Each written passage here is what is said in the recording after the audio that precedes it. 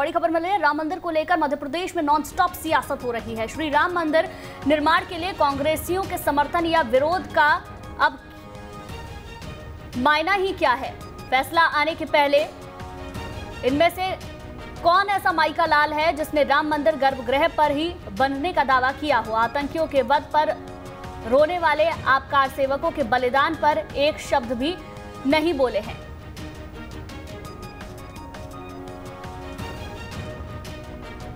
जयवान सिंह पवैया ने कांग्रेस को निशाने पर लिया है और ये तमाम बातें कही हैं। इसके पहले भी हमने तमाम बयानबाजी देखने को मिली है। जयवान सिंह पवैया का कहना है कि श्री राम मंदिर निर्माण के लिए कांग्रेसियों के समर्थन या विरोध का अब मायना ही क्या है?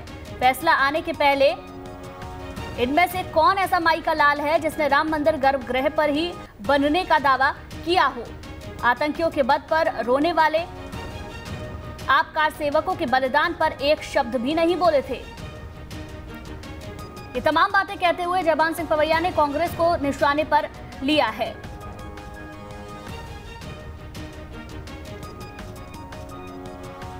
ट्वीट करके उन्होंने निशाना साधा है और ये तमाम बातें कही हैं।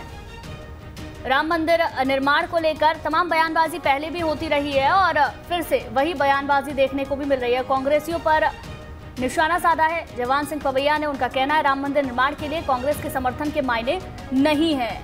राम मंदिर को लेकर जिस तरीके से एमपी में सियासत चल रही है, वो हर दिन बढ़ती ही जा रही है। विनोद शर्मा हमारे संवाददाता ज़्यादा जानकारी के साथ जुड़ गए हैं। विनोद, राम मंदिर को लेकर मध्य प्रदेश में नॉनस्टॉप सियासत हो रही है। अब जयवान सिंह पवैया का भी बयान सामने आ गया है।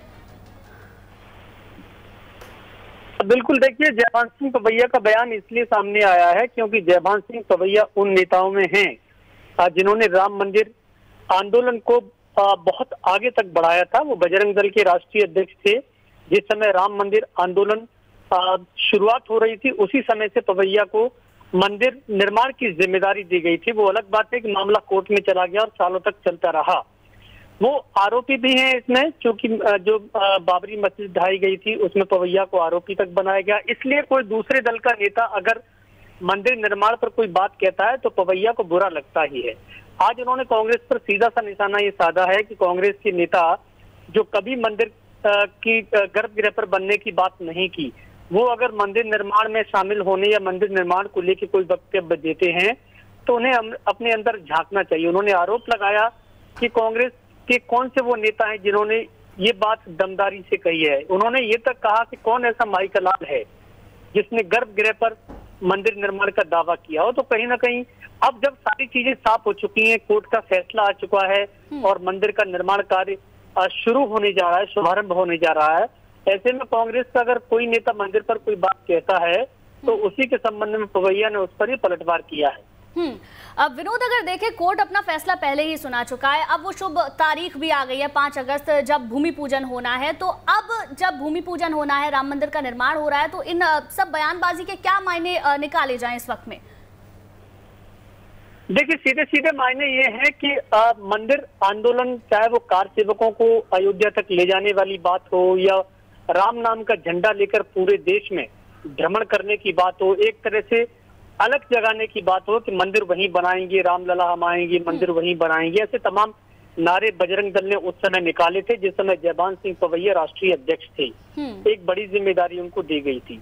तो इसके सीधे सीधे मायने ये हैं कि जिन लोगों ने बलिदान दिया जिन लोगों ने अपनी जान गंवाई जिन्होंने लाठियाँ खाई मंदिर आंदोलन के समय हम्म। आ, उन पर अब अगर कोई ऐसे लोग कोई ऐसे नेता बयानबाजी करते हैं जिससे मंदिर का श्रेय लेने में कहीं कोई उन्हें क्रेडिट मिले तो उसका बुरा लगता है और यही मायने हैं पवैया के इस बयान के ठीक है। कि कांग्रेस राम मंदिर को लेकर लंबे वक्त से अगर देखें तो राजनीति होती हुई आई है। राम मंदिर निर्माण को लेकर पहले राजनीति चलती रही लंबा ये पूरा केस चलता रहा लेकिन इसका निपटारा नहीं होने को आया। जब निपटारा हुआ और अब भूमि पूजन होने वाला है तो अब भी राजनीति कहीं ना कहीं इस पूरे मसले पर देखने को मिल रही है।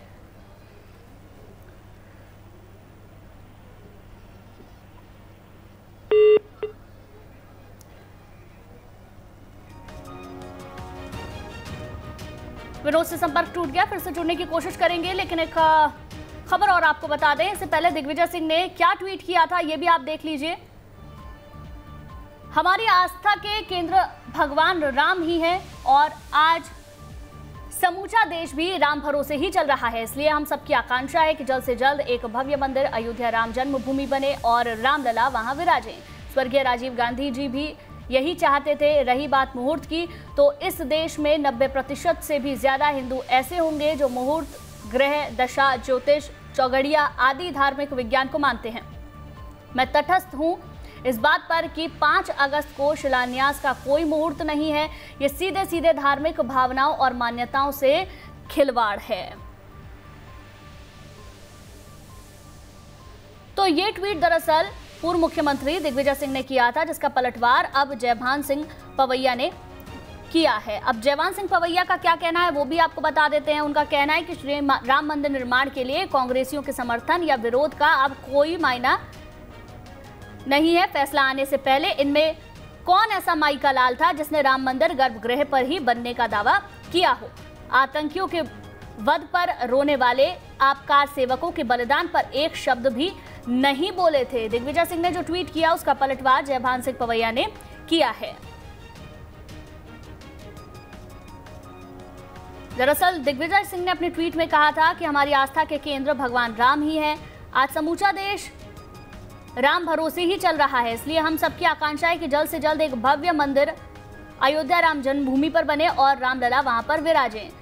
इसके साथ साथ उन्होंने ये भी कहा है कि राजीव गांधी जी भी यही चाहते थे। रही बात मुहूर्त की तो इस देश में 90 प्रतिशत से ज़्यादा हिंदू ऐसे होंगे जो मुहूर्त दशा का ध्यान रखते होंगे।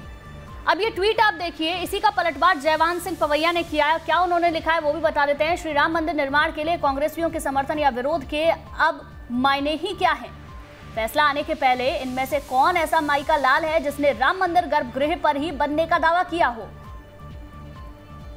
आगे लिखा, आतंकियों के वध पर रोने वाले आपकार सेवकों के बलिदान पर एक शब्द भी नहीं बोले थे।